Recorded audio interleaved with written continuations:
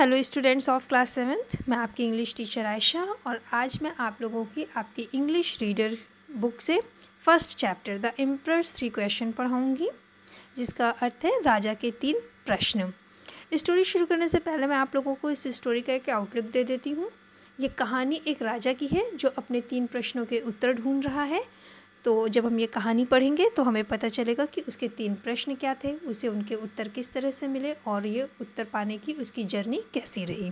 Now let's start the chapter and students listen carefully one day it occur to a certain emperor that if he only knew the answers of three question he would never strain any matter एक दिन, एक राजा के मन में यह विचार आता है कि यदि उसे इन तीन प्रश्नों के उत्तर पता हों तो वह कभी किसी मामले में फंसेगा नहीं।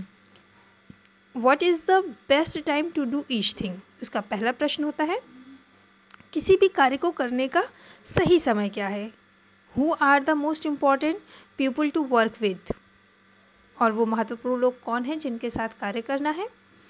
उसका तीसरा क्वेश्चन होता है what is the most important thing to do at all time वह महत्वपूर्ण कार्य क्या है करने के लिए किसी भी समय?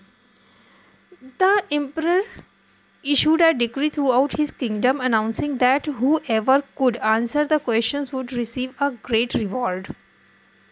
वो जो राजा होता है वह अपने पूरे किंगडम में साम्राज्य इशूड जारी करना डिक्री आदेश वो एक आदेश जारी करता है कि जो कोई भी उसके क्वेश्चंस के आंसर देगा उसे एक बहुत बड़ा इनाम दिया जाएगा। Many who read the decree made their way to palace at once each person with a different answer बहुत सारे लोग जो ये प्रश्न, उसका आदेश जो पढ़ते हैं, वो अपने अपने उत्तर लेकर महल आते हैं और हर किसी का उत्तर अलग होता है।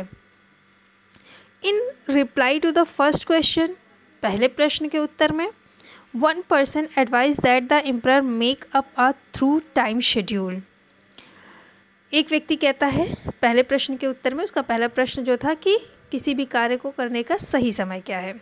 तो उसके लिए बताता है कि राजा को एक बहुत ही जो है वो टाइम अपना शेड्यूल बना लेना चाहिए और फिर जो है consecrating every year day month and year for certain task and then follow the schedule to do later उसे कहते जो शेड्यूल उसने बनाया है, अब उस शेड्यूल के प्रति उसे समर्पित होना चाहिए हर घंटे, हर दिन, हर महीना, हर साल। तब जो है जाकर वो और फिर राजा सक्षम होगा कि उसे क्या कार्य कब करना है। Only then could he hope to do every task at the right time और तभी वो ऐसी आशा कर सकता है कि वो प्रत्येक कार्य को सही समय पर कर पाएगा।